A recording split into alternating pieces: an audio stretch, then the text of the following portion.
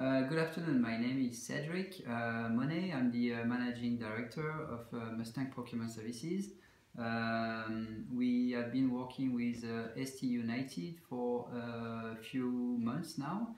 We have been provided with um, experienced uh, uh, staff uh, for our team. So our first first candidate, first employee was Hugh.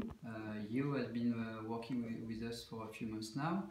Uh, and he had uh, 10 years of experience. Uh, as soon as he started um, to work for us, he he, uh, he showed a, a, a great uh, experience and uh, has been able to cover all the tasks he was um, in charge of.